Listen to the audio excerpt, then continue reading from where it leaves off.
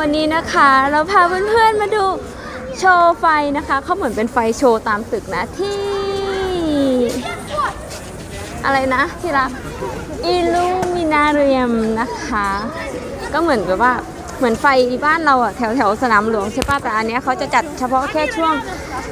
เทศกาลคริสต์มาสนะคะ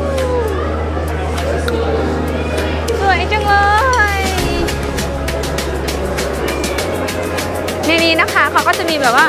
เป็นบาร์เป็นร้านอาหารนะคะ แล้วเขาก็จะมีแบบว่าซื้อตั๋วเข้าไปดูการโชว์ไฟด้านในด้วยนะคะ อันนี้เป็นปีแรก